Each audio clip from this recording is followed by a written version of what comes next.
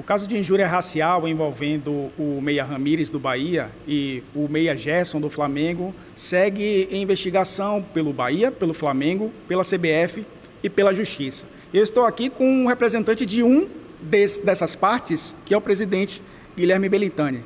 Guilherme, quem já sofreu racismo é, percebe em algumas reações, né, reações genuínas de quem sofre, de quem acabou de sofrer um racismo. Foi o caso do Gerson.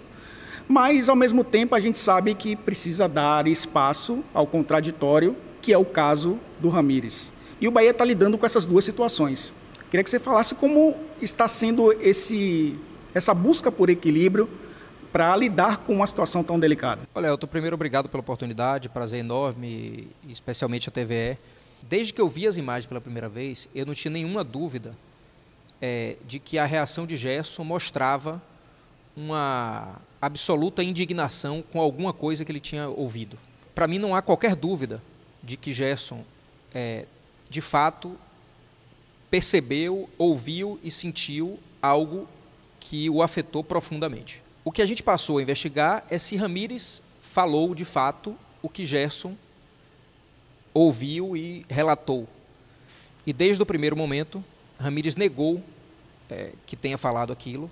A partir daí, a gente aprofundou as investigações e, associando as, as palavras de Gerson, de Ramires e ao relato de todos que estavam, súmula e imagens, conseguimos fazer uma investigação que a gente entende como razoavelmente profunda dentro do que a gente tinha disponível para acessar, dentro da limitação que a gente teve é, em relação à prova, depoimentos, súmulas e uma série de outras coisas. Durante a semana surgiram dois laudos.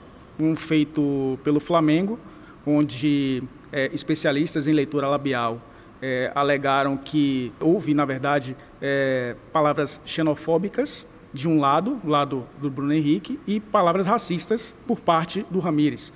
O Bahia também fez um laudo onde detectou essas palavras xenofóbicas do Bruno Henrique, porém no caso do Ramires, foram palavras apenas, digamos, de provocação. No que isso vai ajudar nas investigações com relação ao caso específico da denúncia que foi do ele, Eu diria que ele até ele atrapalha um pouco, ele embola um pouco a análise do que para mim é o fato mais desafiador, que é o primeiro.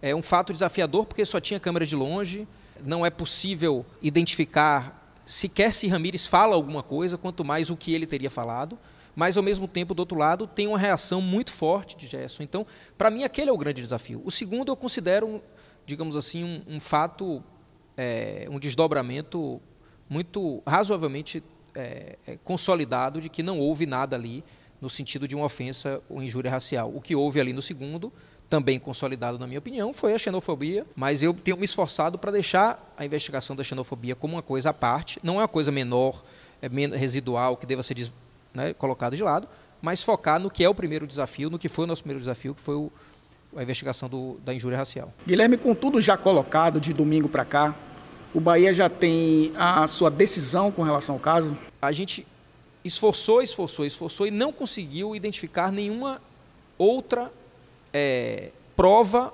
ou é, circunstância além da palavra da vítima. Quando eu falo além da palavra da vítima, não é um reducionismo da palavra da vítima. É dizendo que foi a palavra da vítima, que é relevante, importante, ponto, parou ali. Eu não consegui cravar, Elton, que a decisão mais correta seria abandonar a presunção de inocência de, de Ramírez. Então nós, na verdade, nós consolidamos a ideia de que ele deve continuar no clube. É, deve continuar no clube, ser reintegrado imediatamente e ficaremos atentos aos processos paralelos que estão acontecendo. Polícia, Ministério Público, STJD, entendendo que qualquer outro fato que surja que a gente ainda não tenha analisado vai merecer análise. Eu procurei esse tipo de orientação, sou dono e responsável pelas minhas decisões, assumo as consequências dela, procurei fazê-las da melhor forma possível. A responsabilidade é minha e o Bahia seguirá firme e eu peço a confiança das pessoas. Nós vamos seguir firme nessa luta. Existe aí um recado muito forte de que temos muito mais para fazer. É isso aí.